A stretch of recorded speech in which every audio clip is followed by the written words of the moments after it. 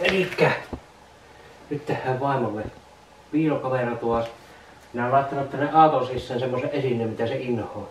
Eli se on semmoinen lasten syöttötuoli vanha, mikä on pitänyt hävittää aikoja sitten, niin minä laitan aina sen esteeseen johon. Aina joko peräkontti tai milloin mihinkin. Nyt laitetaan kamera siihen. Se on siellä semmoisen pelastusliivin sisässä se kamera, se ei huomaa sitä ihan varmaan ei huomaa. Katsotaan sitten kun se tulee tänne, että mitkä on reaktiot.